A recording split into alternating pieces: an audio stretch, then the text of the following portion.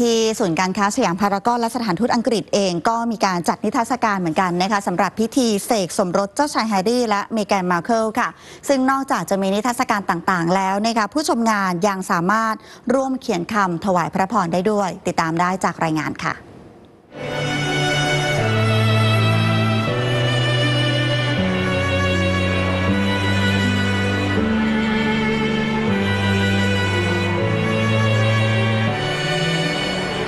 the, the wedding tomorrow of His Royal Highness Prince Henry of Wales, Prince Harry, and Miss Meghan Markle.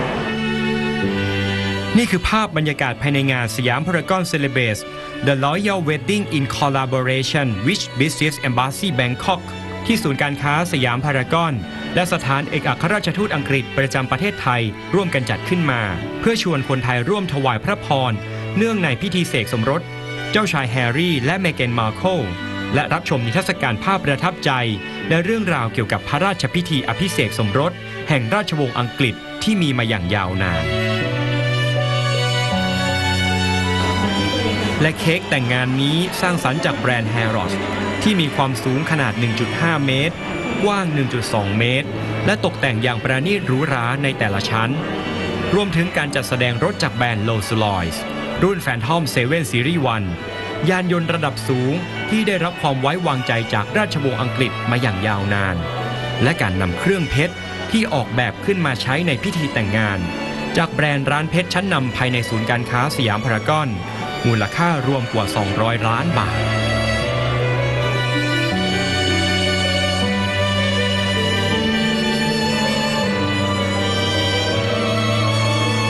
สำหรับผู้ร่วมเข้าชมนิทรรศการยังสามารถร่วมเขียนคำถวายพระพร เนื่องในพิธีเสกสมรส ถวายเจ้าชายแฮร์รี่และเมแกนมาเคิลลงในสมุดถวายพระพร โดยทุกคำถวายพระพร จะส่งตรงไปยังสำนักพระราชวังณกรุงลอนดอน เพื่อถวายแด่พระคู่รักหลังจบงาน ซึ่งผู้สนใจสามารถเข้าร่วมงานได้ในระหว่างวันที่ 18 ถึง 21 พฤษภาคม 2561 ณบริเวณ Hall of Flame ชั้น M ศูนย์การค้าสยามพารากอน